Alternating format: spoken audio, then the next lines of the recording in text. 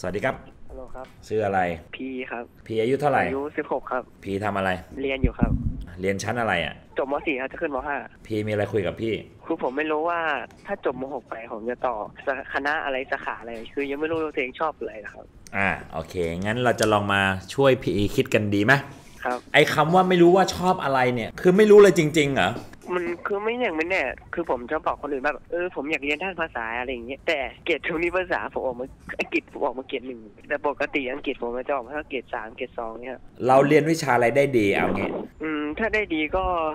ไม่แน่ใจครับ แต่ถ้าคือพอไปรอดก็พวกภาษาไทยคณิตผมก็เกรดสามตลอดอะคือทุกเทอมที่ผมเรียนนี่เกรดสามขึ้นทุกเทอมครับ ภาษาไทยคณิตศาสตร์แล้วก็ได้เกรดสามเหรอครับ แสดงว่าเราก็หัวด้านคำนวณเราก็ใช้ได้นะ แล้วตอนเนี้ยพีอยู่จังหวัดอะไร ก็อยู่ตากครับ แล้วยามว่างอะทำอะไรยามว่าง มีงานอดิเรกไหมก็มีเล่นกีตาร์บ้างกับดูหนังฟังเพลงเล่นเกมเล่นเรื่อยไปครับ คนเราเนี่ยนะเว้ยพี่พี่จะสอนวิธีการค้นหาตัวเองให้เจอ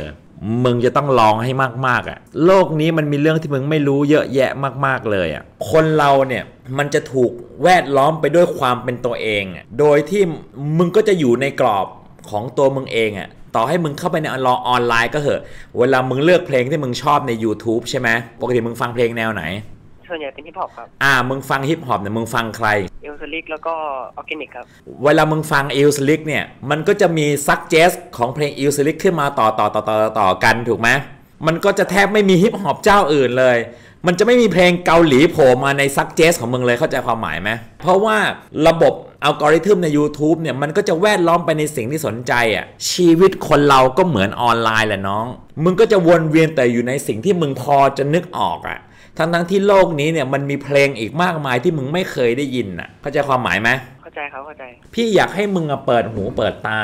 ก็คือโดยการที่มึงพยายามลองเรียนรู้ทำความรู้จักอะไรเยอะๆมากๆเข้าไว้อะอ่านในสิ่งที่ไม่เคยอ่านดูในสิ่งที่ไม่เคยดูอะ ขอให้เชื่อเถอะว่ามีโลกใบใหม่ ๆ มากมาย ที่มึงแม่งไม่เคยเห็นมาก่อนอะ เรื่องราว content อะไรมากมาย ที่มึงไม่คิดแม้แต่จะดูอะ พี่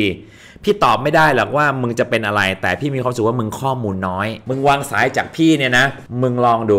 มึงลองเข้าไปใน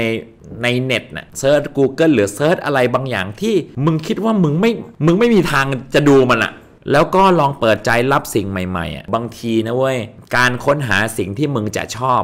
ไม่ใช่มัวแต่ทำสิ่งที่มึงชอบนะ คือการทำสิ่งที่มึงมึงไม่คิดว่ามึงจะชอบเลยด้วยซ้ำอะ ลองดูนะพี่ มึงต้องหาข้อมูลเยอะๆสำหรับคนอายุน้อยต้องหาข้อมูลใส่กระบาลเยอะๆ ถ้ามึงรู้น้อย มึงก็จะคิดได้น้อย เมื่อมึงคิดได้น้อย มึงก็ตัดสินใจได้น้อยเหมือนกันนะพี่นะ พี่ก็แค่ขอให้มึงเปิดโลกไป โชคดีที่มึงโทรติดพี่